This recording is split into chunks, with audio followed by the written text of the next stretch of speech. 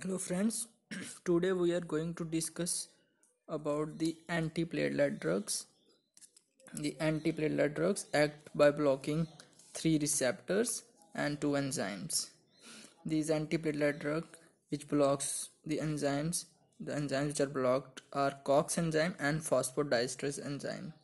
And the receptors which are blocked by the antiplatelet drugs are three receptors First is glycoprotein 2B3A receptors are blocked by this drug and also ADP receptor which is P2Y12 receptor is blocked by these antiplatelet drugs and also there is another receptor recently new drugs coming with that blocks the protease activated receptors.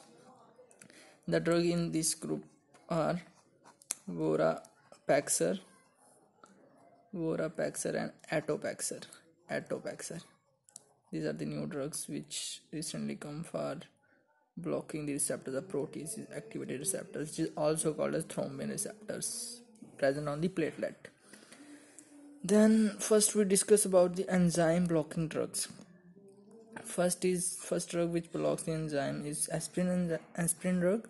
Aspirin blocks the cox enzyme. It blocks both cox1 as well as cox2 because of the blockage of the cox enzyme since we know that cox is enzyme is involved in the synthesis of thromboxane and as well as prostacyclins which is PGI2 the point here to note is that it reduces the level of both thromboxane as well as PGI2 but the level of PGI2 remains slightly higher than the thromboxane A2 the reason for this is since PGI2 is produced by the endothelium of the vessel and endothelium has a nucleus so when aspirin is given the both levels when decreases but pga soon start increasing because of the presence of the nuclei. But thromboxane level does not increase because it is produced by the platelets and platelets don't have the nucleus. So for that fresh platelets had has to be generated to produce the thromboxane because of which there is less level of thromboxane. And we all know pgi2 is anti-platelet aggregator and the net effect is anti-aggregated or anti-platelet action. Okay. Then aspirin mm, works as anti-platelet drug at low dose which is 40 to 325 milligram. And another point you have to remember is aspirin does not reduce the thromboxane does not block the thromboxane synthetase enzyme but it reduces thromboxane synthesis by blocking the cox enzyme not the thromboxane synthase enzyme this enzyme is blocked by another drug which is dazo dazoxiben which is dazoxiben okay? Then this is about the first enzyme cox enzyme which is blocked by the aspirin. Then another enzyme which is blocked by the antiplatelet drugs is phosphodiesterase enzyme. This enzyme is blocked by dipyridamole when this get blocked since phosphodiesterase is involved in the degradation of camp when it is blocked the camp level uh, camp cannot be degraded and its level remain high and because of which there is increased pgi2 which is post prostacyclin and the net effect is antiplatelet. After the enzymes we now discuss about the we now discuss about the receptor blocking antiplatelet drug. The first receptor is glycoprotein 2b3a receptor blocker. These drugs are very strongest antiplatelet drug since this receptor is present on the platelet. And when it gets blocked uh, no no substance like adp thromboxane can aggregate the can aggregate the platelet. All agon agonists cannot work on this receptor. That's why it is the strongest antiplatelet drug.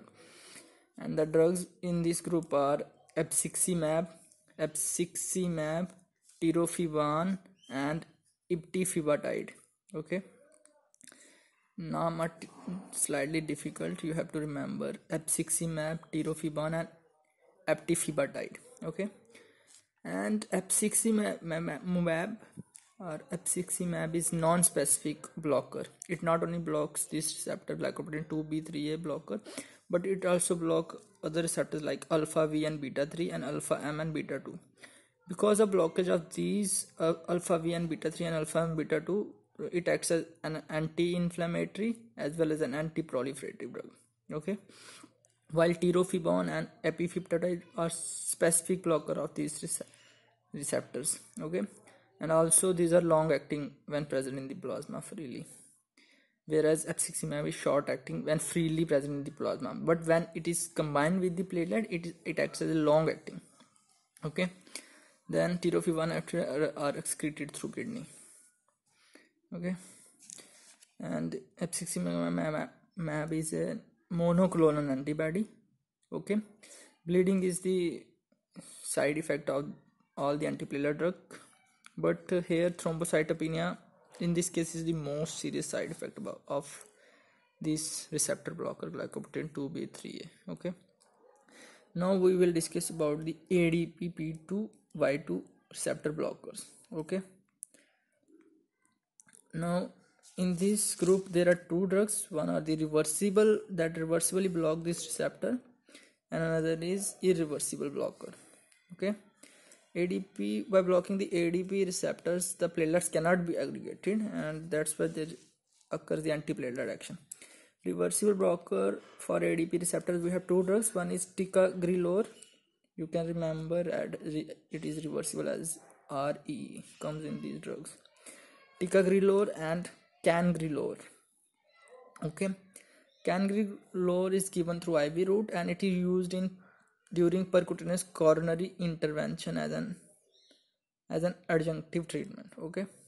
While tica, ticagrelor is given orally and it has more greater and predictable action as compared to the irreversible blockers. Okay. In the irreversible blocker we have three drugs. One is ticlopidone ticlopidine clopidogrel and prasugrel okay i repeat ticlopidine clopidogrel and prasugrel these are the irreversible ADP receptor blocker. Ticlopidine and clopidogrel are prodrugs. Okay, they go to the liver where they are metabolized by the enzyme cytochrome P2C19. Okay, and they are converted into active metabolites. And mm, you have to remember here is the point that PPI or the they they block they they inhibit this enzyme and as a result of which when PPI is given the they cannot be the ticlopidine and clopidogrel cannot be converted into active metabolites and their antiplatelet action remains at the lower side so PPI should be avoided in those patients who are on ticlopidine and clopidogrel okay? The side effect of these drugs that they cause the low WBC count and low platelet count and while GI gastrointestinal side effect are the most common side effect with the use of these drugs. Prasugrel for prasugrel it is stronger platelet antiplatelet as compared to the ticlopidine and clopidogrel. And it also has fast onset of action fastest acting okay? Because of its strongest nature it should be avoided in patient more than 75 year and also in those with history of stroke okay uses of this antiplatelet drug we give it for the myocardial infarction prophylaxis aspirin here most commonly used. We also used in patient with artificial heart valves and cerebrovascular disease. Okay thank you. Thank you. Keep smiling